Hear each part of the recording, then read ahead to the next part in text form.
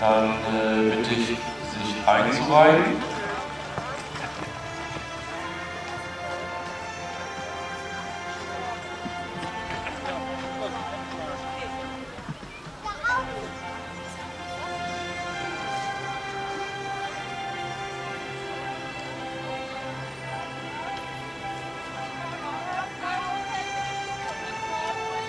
Und wir kommen zur Prüfung Nummer 8.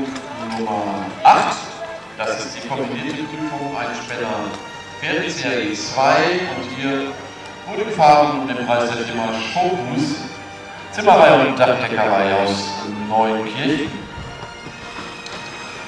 Und hier gewinnt mit der Gespannummer 23 Heinz Heidgötter aus Neunkirchen mit einer totalen Punktzahl von 108,07 Schaden. Auf dem zweiten Platz ankurzzeitig